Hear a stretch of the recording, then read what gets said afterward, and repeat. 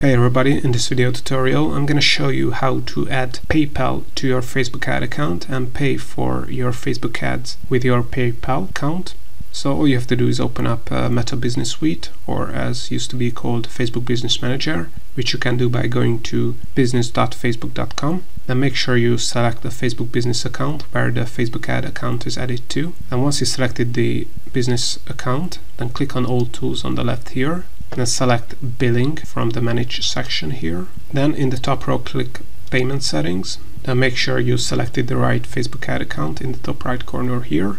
Then here is the information regarding your current payment methods as you can see I have used a MasterCard credit card until now. And if I want to start paying with PayPal all I have to do is click on add payment method here. And as you can see I can not only pay with debit or credit card or online banking or with that credit but with PayPal as well. So select that one then click on next. Then you have to sign in into your PayPal account.